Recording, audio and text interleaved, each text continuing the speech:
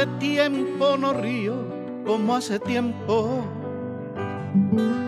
Y eso que yo reía como un jilguero. Tengo cierta memoria que me lastima y no puedo olvidarme lo de Hiroshima. Cuánta tragedia sobre esta tierra. Hoy que quiero reírme apenas si puedo. Ya no tengo la risa como un jilguero, ni la paz de los pinos del mes de enero. Ando por este mundo sobreviviendo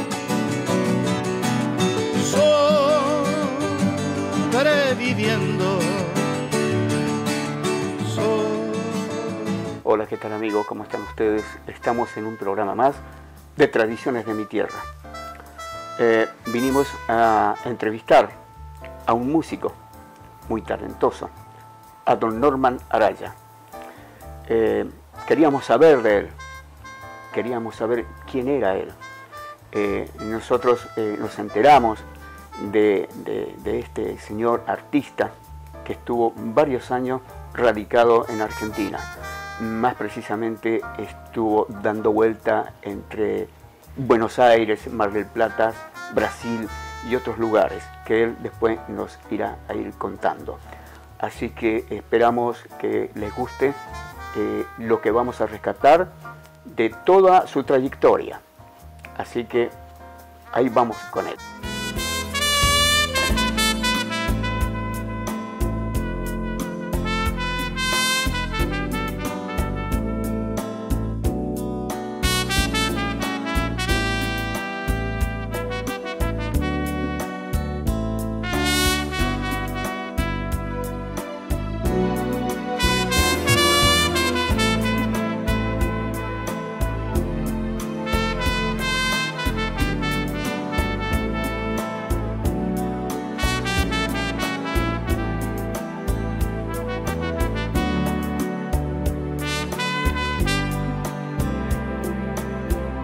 Norman, gracias por recibirnos acá en su casa. Este, realmente nos sorprende un poco su historia. Eh, sabemos que es trompetista, ha estado tocando para varios este, grupos musicales de Argentina. ¿Cómo, ¿Cómo llega usted a ser un trompetista reconocido allá y haber tocado en estas orquestas? Eh, bueno, uno llega a esta orquesta hablemos de sinfónica, por ejemplo, por concursos. Claro, por concursos. Sí, la, tuve la sinfónica de Bahía Blanca. Ah, ya, correcto. Ahí gané por concurso Mar de Plata, otra sinfónica también. Y por ahí nos, enviaban a hacer refuerzo en el Teatro Colón. Ya, correcto. faltan trompetistas. Bastante importante. Claro y aparte de eso, orquesta bailable. Ahí estuvo participando en, todos esos lugares. Sí. Don Norman, eh, eh, ¿cómo, es su llegada a este instrumento, la trompeta? Bueno, fue en la zona de, de María Elena, Antofagasta. Ya, correcto. Eso es al norte de Santiago. al norte, bien al norte ese es el, cuando estudiaba en el liceo, ahí también se formó una banda, y ahí empezamos a estudiar muchos niños, de 12 años, 10 años, en María Elena también, y así me, fui formando. Ahí fue tomando un contacto más, más profundo con... Ya cuando tenía 16 años más o menos, viajé a Argentina y ingresé a un conservatorio de nombre Boedo. ¿Quedaba en el barrio de Boedo o...? Sí, que, quedé en esa zona. Por ahí en esa zona. Y Ahí usted fue fue como becado, No. alguien lo llevó o, o por su cuenta. Sí, por mi cuenta. Eh, por mi por cuenta, mi cuenta por me su inscribí, sí, me inscribí ahí. Y vieron que tenía un poquito de talento, entonces me inscribí. Que tenía dedos para la trompeta. Claro, y él, lo que me llamó la atención, el, el director del, del conservatorio era cieguito. Mire usted. Sí, me- entonces me llamó la atención. Usted dijo, un ciego enseñando trompeta. Acá tengo que Claro. aprovecharlo porque no me conoce. Sí, porque hay un acordeonista también cieguito. Que eh, eran que enseñaban Sí, también ellos También, ahí. sí. Eran, eran los profesores, los maestros. profesores había, sí. Y bueno, de ahí, en conjunto con los estudios, eso, ya empecé a tocar en orquesta, bailable, De ahí salió más a formación, más formación, Claro. claro. Después, en Mar del Plata, toqué con una orquesta que se llamaba los Cotton Picker. Cotton Picker en Mar del Plata, sí. Era orquesta bailable, temas de jazz. Eran grupitos que se organizaban, Sí. iban a tocar a eventos así. Exacto, mucho, incluso muchos alumnos ya formaban estas bandas. Ya, correcto. Y ahí comenzó usted más eh, a, Claro, a ya. compenetrarse más con, con la música. Sí. ¿En qué momento, don, eh, don, don Norman, usted eh, llega a estas bandas, digamos, musicales eh, más elevadas, como, como es las orquestas sinfónicas? ¿Tuvo contactos con ellas? Es que, por ejemplo, un día me dice, Norma, mira, me pasa en el diario, hay concurso en esta orquesta en, en Mar del Plata para trompeta solista, y no solamente trompeta, llaman a, a voz, fagot, cello, violines. claro, de ¿ah? todos tipos de instrumentos. Claro, todo tipo. Faltó uno, su flauta. Ahí usted no tocaba la flauta, tocaba la trompeta. Claro. Me presento. Ya, el, el examen era con orquesta. O sea, le dijeron, mira, eh, el examen Claro. tiene que ser, usted tiene que tocar la trompeta acá con, Con la con nosotros. con con la lo que orquesta. la- pusieron la partitura y no, no recuerdo el nombre, bueno. Y el director, porque era el maestro Nés- Néstor Romano, Era el director de esa orquesta. claro, era pianista, director. Una italiana en Argel se llamaba el tema del examen. Así que Lo vamos a buscar, un italiano en la Sí. Así que él subió al escenario, saludó. Ya em- empezamos, me habían puesto la primera trompeta porque hay partitura, primera trompeta, segunda, tercera, a veces cuarta. Mira. Mm. Hay, hay ciertas reglas, cierto escalafón Claro, dentro es de... como los trombones, primer Claro. trombón, segundo, tercero. Los Sí. buenos violines, 12 violines primero, 12 segundo. En ¿Y usted estaba en qué línea? ¿Entre No, el yo- primero y el me- segundo? Me han puesto la partitura de primer trompeta para, primer para- trompeta. para el examen. Claro. Para el examen. Usted dijo acá, es bien peleaguda la cosa. Claro, así que miré yo, listo, la lectura, listo. El director, Y comience la, la, la banda. empezó, pues empezó la, ya. Y lo- los muchachos que estaban delante, que eran la flauta, oboe, miraban para atrás y bueno, yo estaba en la segunda fila. Miraban. A lo mejor, a lo mejor era muy potente, no sé. El asunto es que el director cortó el tema, quiere quedarse de solista, me dijo. Para que tocara solo. Claro, de, contratado en la orquesta sinfónica solo. Mire usted. Claro. Ahí inmediatamente fue postulado, Sí, fue reconocido ahí quiere- nomás. Quiere quedarse de solista, me preguntó. Así que había dos trompetas más. Esas no participaron. Eh, Usted le ganó. No, el- no, es- ese era segundo trompeta segundo y tercer trompeta. trompeta, que Ah, estaban ya, contratados la orquesta.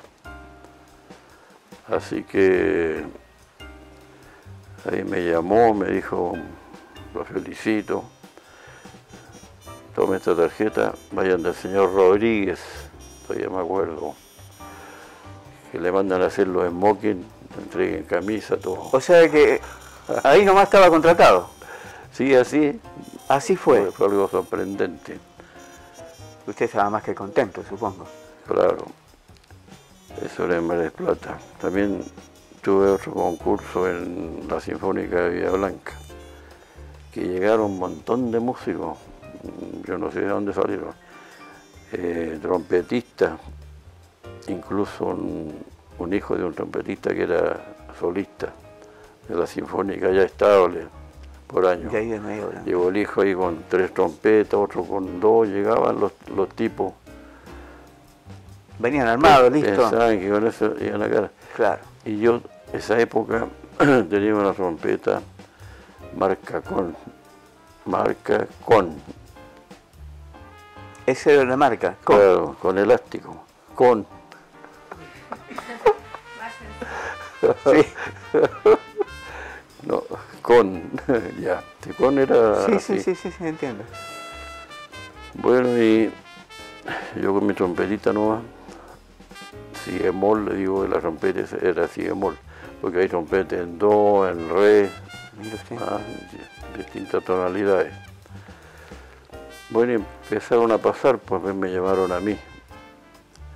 Habían los mejores ahí directores de, de Argentina. En esa orquesta, pasaban por ahí. Estaban ahí tomando el examen. Mm. Estaba Mario Peruso, lo recuerdo. Alejandro Bricio, me parece otro. Eran como músicos reconocidos. Eran directores de orquesta sinfónica, ellos, ellos elegían. Este, Este sí, este no. Claro, claro. Don Norman. ¿Usted no tiene el segundo nombre? Don No, Nel- Nelson, no. ¿no? Es Don Norman. Don Norman. ¿Cómo le Norman fue? Bullman von Offen. Güey, Ahí sí que no me acuerdo ya de eso. No. Eh, Heriberto Norman Araya. Pero me gusta, me gusta Norman. Le gusta que le digan Norman. Claro, sobre todo las chicas me dicen Vamos a que Norman. vamos a decir Norman. Las chicas se acordaban de Norman. Norman. De ahí que a usted le gusta que le digan Norman. bueno, entonces empezaron a pasar los, los músicos, trompetistas, de, de todo pasar. Y salían, me toca, me tocó a mí, me llamaron, se para un director, lo estoy viendo, pero no recuerdo el nombre. Era uno de los muy excelentes, bu- buenos directores. Algo de Calderón, me parece. Bueno, habían varios, varios, Peruso, Alejandro Mauricio. Eh, empezamos con toque algo solo, alguna cosita, Haga algo sonar, algo sonar. Yo me doy vuelta de espalda hacia ellos, pero, pero con ropa. Ya, con ropa de... eh, Claro, sí, entiendo, entiendo. Y empecé a hacer sonar trompeta. Ojalá me sonara ahora como aquella época. Bueno, eh, se acercó después con una partitura. A ver, toque aquí. Bien, bien, muy bien. Y los otros directores se miran. Transporte ahora. Claro, porque si tenemos en una partitura tenemos un do, una nota do por ejemplo, que es la más simple. Entonces yo tenía que reportar transporte a mí, me decía. Y la nota que está escrita no se toca, se toca otra, pero hay que hacerlo Sí, con la trompeta si bemol. Son normas más o menos que, Claro, se, que se eh, continúan. sí, sí. Así ¿Eso que... es complicado para que más o menos entendamos? ¿Es complicado hacer eso? O... Sí, eh, eh, casi muchos trompetistas les, les cuesta transportar.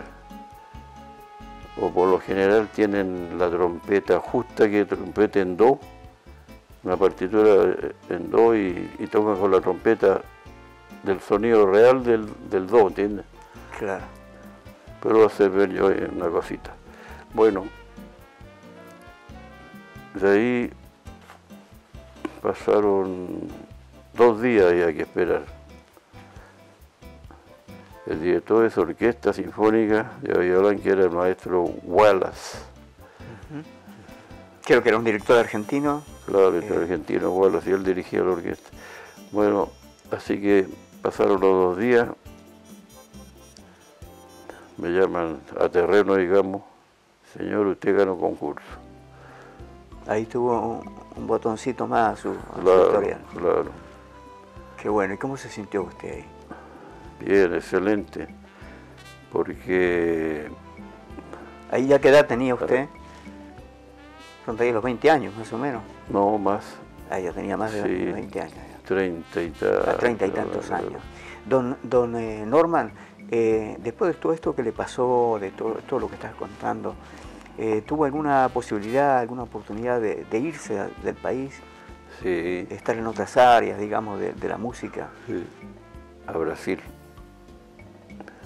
¿Hacia el norte o hacia el sur de Brasil? Salvador, Salvador, el norte, sí. El norte de Brasil.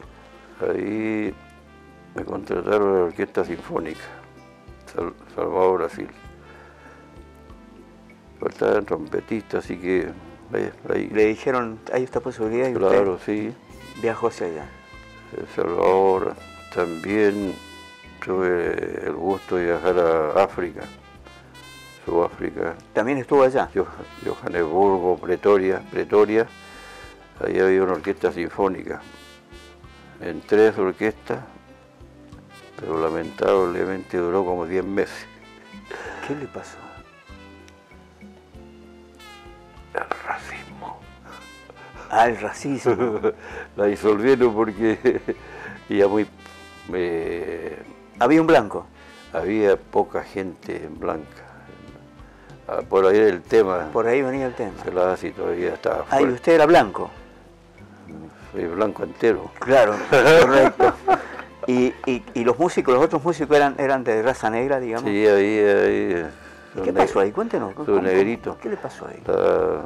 La, disolvieron. ¿Por, ¿Por, qué motivos pasó eso?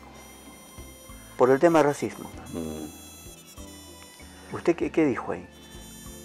Y, ¿Usted no quería estar o, ellos no, no, querían que usted estuviera ahí? No sé. O, tenía mucho talento usted para ello? Contra eso se, se nota lo, lo, que es el racismo, todo eso. Incluso ahora también todavía Todavía existe mucho eso. Bueno, después llegó Nelson Mandela y después con los años de cárcel que tuvo, como 25 años, Nelson Mandela eh, justamente estuvo en la lucha por, terminar con estas, con estas cosas del racismo. Cosas, claro. Incluso pasando a Brasil había un restaurante nos hagan entrar negro, los sacaban. Eso sería hace poco. Sería por el 60, 65, por ahí. Claro, los sacaron, no, no, les permitían. Sí, lo mismo que pasaba en Estados Unidos. Por eso que yo no, andaba con negras. no podía, tenía que andar con blancas. La tenía bien claro usted. Prohibido andar con negras. Claro. ¿Y ahí en Brasil cuánto estuvo don, don Norman? ¿Cuánto tiempo estuvo recorriendo entre Brasil, andando entre... me recorrí todo Brasil, porque aparte de esa sinfónica integré una, una banda enorme de 24 músicos. Se llamaba Alma Latina. Entonces andábamos en tocada de toda esa banda, tropical, samba, Así que recorríamos todo, Mato Grosso, todo, todo, todo O sea que usted eh, eh, tenía dentro de sí varios ritmos musicales, digamos. Podía desarrollar tranquilamente varios ritmos musicales, desde las sinfónicas, hasta orquestas sencillas como la salsa, algo así. Sí, claro. ¿Eso cuántos años pasaron de ahí? De ahí ya volví aquí a Argentina, Tuve un tiempo ahí eh, y de vuelta me vine a Chile. Eh, aquí estuve en, la banda municipal. ¿De acá, digamos, de qué parte? ¿De qué lugar? Aquí, de Puerto Montt. De Puerto Montt. Sí. Ah, correcto. Don Norman, Este, ¿Cómo se hace con la familia? Con los ¿Cómo? hijos. ¿Cuántos hijos tuvo? Aquí, a ver, no sé, tantas cosas que hay aquí, podría contarlo.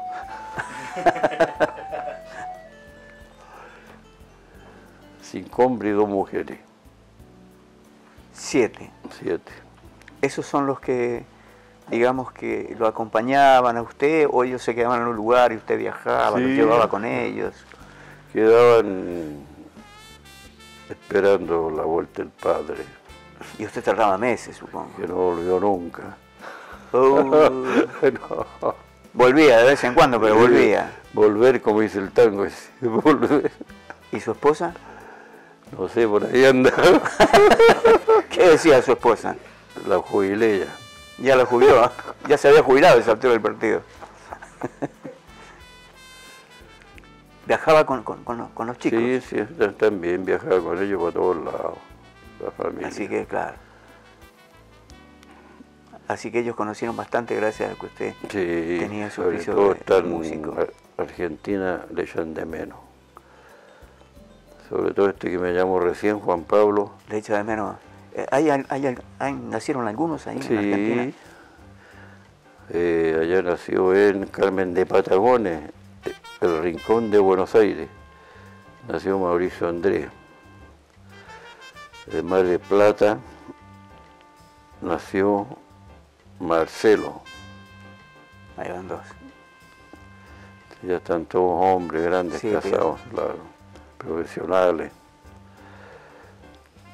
¿Algunos se quedaron allá o están todos acá Ah, me, me- me falta una, una señora que también estuve tocando por esos lados de los paisanos.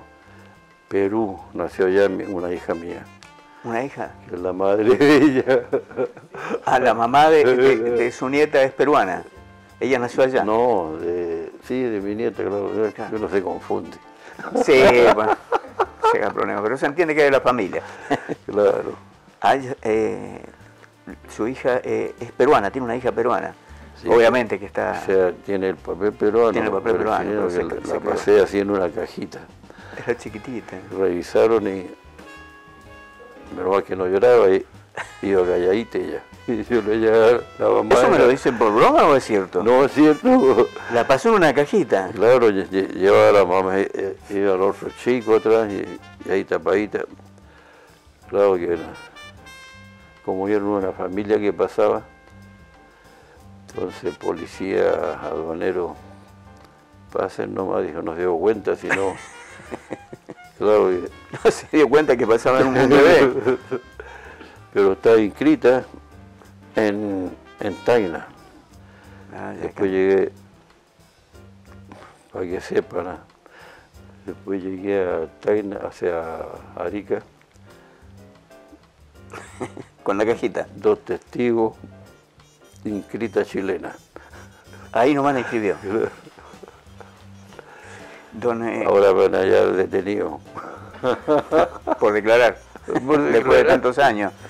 Eh, ¿Cómo se siente con los hijos? ¿Se siente feliz? ¿Se siente que, Bien. han- que ellos eh, lo han acompañado, que lo han, aportado a su vida? Siempre todo, es mi nieta también, sobre todo, sí. ¿Se siente realizado con, con ellos? ¿Le muestran cariño? ¿Le muestran todo? Mucho, mucho. Eh, don Norman, este, tenemos algo para entregarle a usted. Eh, y se lo queremos mostrar. Le queremos entregar eh, algo especial para usted, y pero queremos que usted lo vea. Así que este, el productor le vamos a mostrar la sorpresa que tenemos para don Norman. Eh, lo que más recuerdo yo es cuando mm, estaba en el colegio, porque siempre que era la independencia, alguna cosa de, de los colegios o del país en Argentina, eh, yo necesitaba un acto o algo y, lo llamaba él y él al tiro. La cosa es que yo ahí me sentía bien, pues, porque sabía que era mi el que estaba tocando ahí. Él viajó mucho, hizo su vida, pero lo que, como era él, siempre estaba. Siempre estaba. Él viajó, o sea, somos siete hermanos, pero todos tienen diferentes modos de pensar del papá, pero los mayores recibimos, yo pienso que recibimos lo mejor de él. Y él preocupado que todos estudiáramos un instrumento, todos, yo estudié violín, después el otro estudió piano, otro trompeta y así. Eso fue allá en Argentina, en Bahía Blanca. Lo que pasa es que tener un papá músico no es fácil, porque todo el mundo te lo critica, pero hay que, hay que amar a las personas, y yo a mi papá lo amo como él es. Él es como es nomás, y hay que aceptar a las personas. ¿Qué es lo que más admiras de tu papá? Eh, cómo toma las cosas, la tranquilidad que tiene, eh, no, eh, no, se salta por las cosas, él es todo pasivo. Y la inteligencia para pensar y no estar haciéndose mala sangre, es así. Uno dice, oh, mi papá no contesta. Cuando usted está hablando un tema delicado, él no contesta, pero después al rato dice lo que tiene que decir. Lo he visto llorar solamente dos veces. La segunda vez fue porque Nelson y los niños se fueron a, a Chillán y andaba medio decaído, pero siempre él me da la fuerza que tiene que dar. Y es como, es como que sabe tomar la vida, entonces da gusto. Ha sido aperrado toda su vida.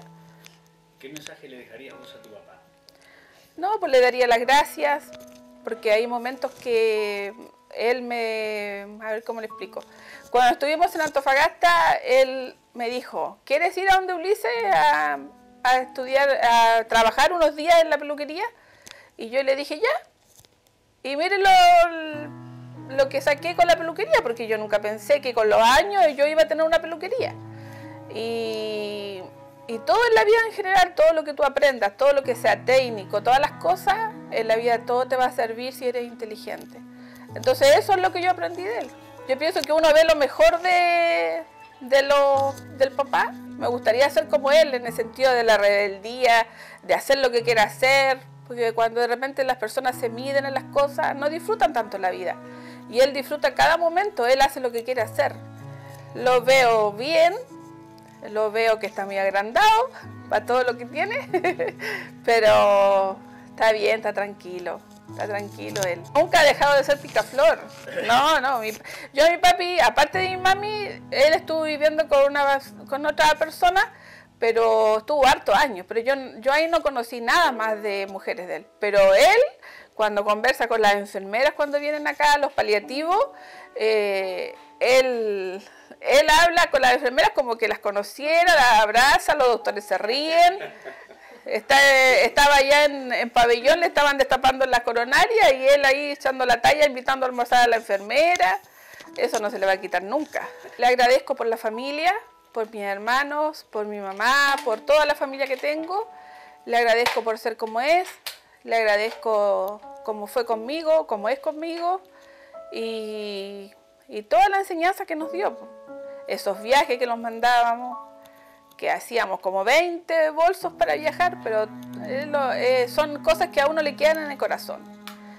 Para mí fue maravilloso estar con él y seguirlo teniendo y ver lo que está haciendo su vida tranquilito otra vez en su casa. Bueno, mi abuelo ha, marcado en mí algo muy importante porque mm, dentro de, la, de los sueños que tenemos todos los seres humanos y ideas locas o, o ganas de cumplir cosas. Lejos el hombre más soñador de la vida que he tenido que, eh, compartir y, y, soñar junto con él es mi abuelo. Es un hombre lleno de magia, todo hace un invento, un abuelo chocho, cariñoso. Eh, dentro de mi infancia nosotros igual estuvimos distanciados porque pero los encuentros que teníamos, un hombre siempre de, cariño y de conversar, de, eh, me creaba siempre historias que no eran de mi abuelo. Por ejemplo, vamos a ir al, pasábamos por el aeropuerto y me decía, mira nieta, ahí está mi avioneta, vamos a viajar vengo llegando de Alemania. Algunos viajes eran ciertos, pero la gran mayoría no eran ciertos, porque me decía, vengo, de repente yo estaba con mi amistad y decía, oh, yo vengo de Brasil, mira, te traje esta joya. Y siempre muy soñador, siempre. Entonces yo tengo un poco de soñadora también, pero mi abuela la, la embarró. Ucha, yo no tengo los talentos que tiene él, pero soy una fiel admiradora de su música. Me gusta el jazz, me gusta el blues. Mi mamá siempre nos, inculcó un respeto absoluto a, a, escucharlo y admirarlo. Y a él siempre le gustó todo con, con, alegría, que le hiciéramos el show. Él tocaba y nosotros lo salíamos detrás, así, bailando. Entonces un hombre súper alegre, igual para ver la vida yo creo que lo que más me marcó y me preocupó harto fue cuando terminó con su novia.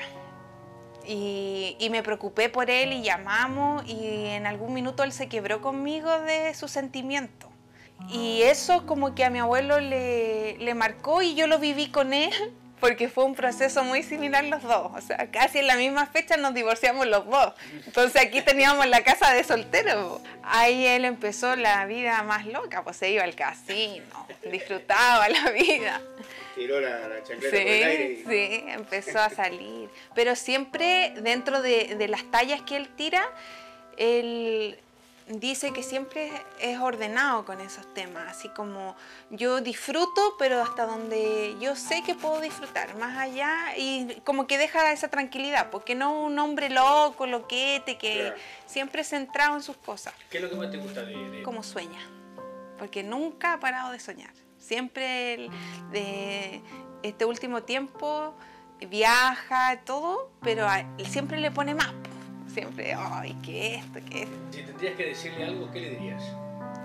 que lo amo, lo admiro, que siempre eh, siga así que esto está hecho con mucho cariño y agradezco esta instancia para poder decirte, abuelito, que te amo, te quiero y que adelante nomás porque estás solito de repente, pero igual estamos ahí todos contigo. ¿Cuál es tu miedo? Quizás de, de pronto perderlo, que no pueda disfrutar lo- los momentos por la enfermedad pues, que tiene y, y que lo pueda perder, porque es un hombre muy maravilloso.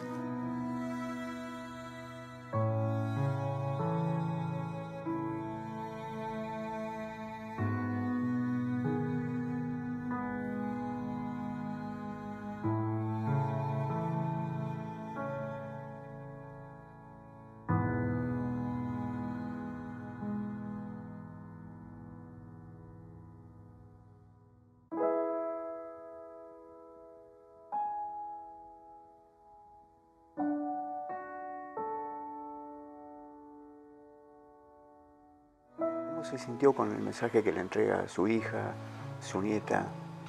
¿Cómo se siente? ¿Qué tiene que, qué tiene que decir? Esa es la sorpresa que le teníamos, aparte. Bueno, eh, me, me sorprendieron, muy maravilloso. Y todo lo que dijeron llegó a Le llegó el corazón. Sí. sí obvio. mi hija, bueno, dijo bastantes cosas que, yo no, la- recordaba, que claro. no recordaba, claro. Pero ya ve cómo son los nietos y los hijos. y lo de mi nieto también, muy con bastante sentimiento. Ellos, ellos eh, le enviaron un mensaje a usted Mm. de cariño, de admiración, de agradecimiento. ¿Usted qué tiene para decirles a ellos? ¿Qué le puede decirle a su hija, a su nieta, a sus bisnietos? Sí, a mi hija que muy agradecido por ella, porque siempre pendiente de mí, de, de mi salud, me ha cuidado bastante, Eso es admirable. claro. Y es la única que me cocina una buena sopa de, de verduras. ¿Y su hija? Claro. Entonces eso me, me ha ayudado mucho a, a limpiar el, el fígado. El fígado, el hígado, el estómago. ¿Qué opina de su nieta? Le- ha- habló cosas muy lindas de usted, realmente. Tiene un abuelo ejemplar ella. ¿Usted qué tiene para decirle? ¿Tiene una nieta ejemplar? ¿Tiene una nieta luchadora? Excelente, luchadora, estudiosa. También como la madre se, se preocupa mucho de mí. Sí, lo, lo vemos. Usted ¿Quién- toca la trompeta. Y dijo? nosotros queremos ver un poco de ese trompetista. Que yo la No, no, toco, yo la toco así nomás. ¿Nos puede mostrar su, su instrumento? ¿Nos quiere tocar algo? Impresionarnos, a ver qué dicen nuestros oyentes, Sí, o los que lo están viendo en estos momentos no le- en tradiciones de, No de mi le, tierra. no le dé tanto color, si no es para tanto. no hay para tanto, pero sí para mostrar un poquito. Bueno, todo así, señores, vamos a... Vamos a vestir como con la época de- del Jax. ¿Cómo estamos? Impecable. Ahí, ahí, sí, bueno, ahí está. A ver, esta... El labio está medio... Ya está medio duro. Parece que anduvo una mujer por ahí.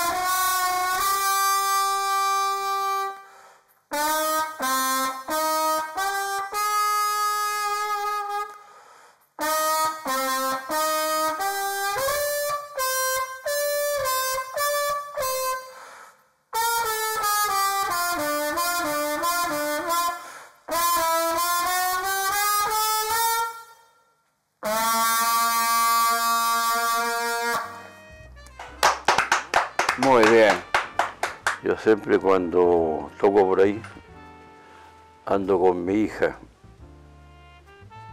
mi hija pequeña. Ah, su hija. Ah, ella es su mujer y esta es su hija.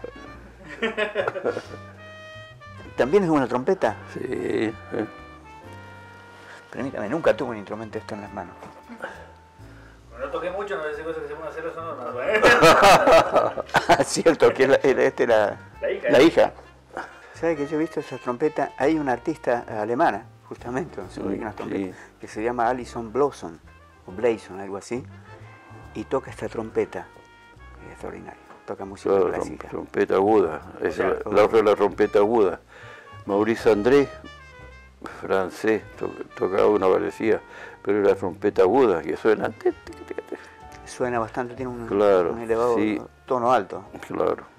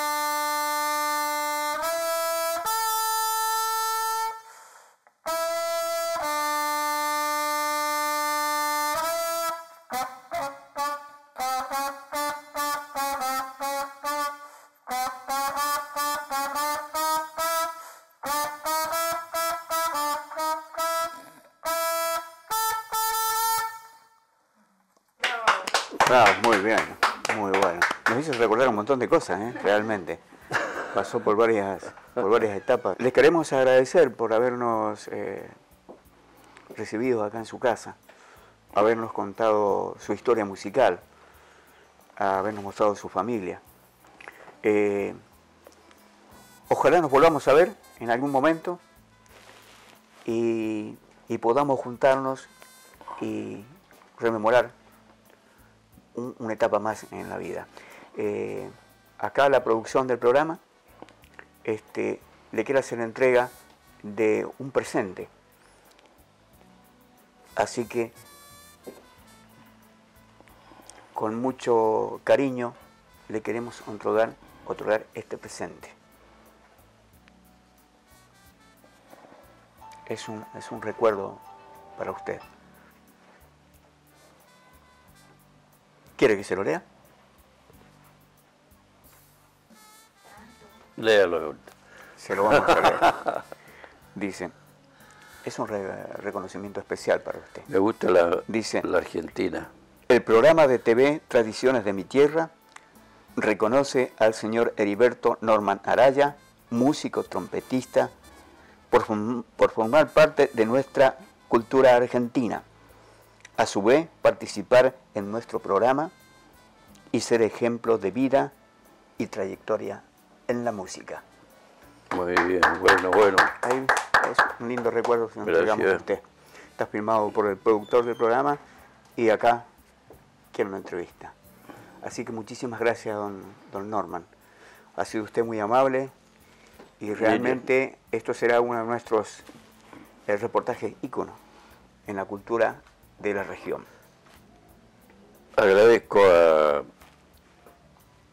al canal y a la producción todo el esfuerzo que han hecho para llegar hacia mí. No, ha sido, es muy importante llegar a... Así que estoy muy agradecido de estar con ustedes. No, al contrario, don Norman. Realmente es un ejemplo usted. Y esto se merece un abrazo. Sí, totalmente.